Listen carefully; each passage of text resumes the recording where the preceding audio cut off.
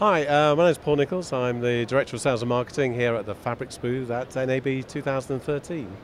I just wanted to talk briefly about uh, our award-winning handheld range of uh, test and measurement. Uh, here you have the Phabrix SXA, it's our entry-level uh, product. Uh, the SXD, which is a dual link product, and the SXE, which is our most successful test and measurement portable device to date.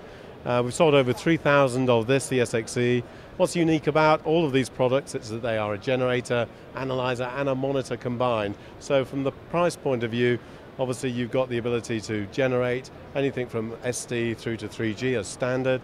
You can analyze and you can obviously monitor and log everything as, uh, as you're going through the broadcast infrastructure.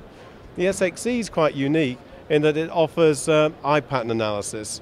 Um, what that is, is obviously a high level feature which most broadcasters dream about, haven't been able to afford. So looking at the front screen, you've got all the information, what you're generating, what you're analyzing, how many logged faults that you may have got.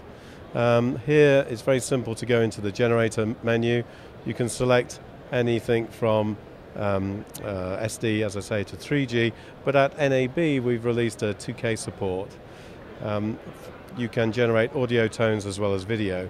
On analysis side, you've got obviously picture analysis, you have a, a, very clear view of that. You have the ability to look at waveforms, vector scope, and obviously that very useful eye and jitter.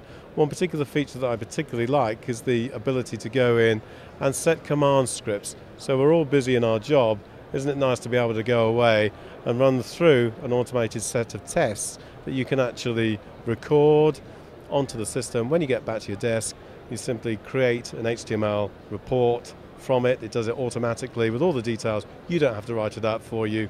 The product does it itself. Okay, looking at the side of the unit, you can see that the, we offer SDI out as a generator, SDI in for analysis. You have AES in and AES out, and you have a reference, obviously, for buy and trisync. Well, this product has proven that there is a market for it, and we've sold bucket loads of them, so there are fans everywhere.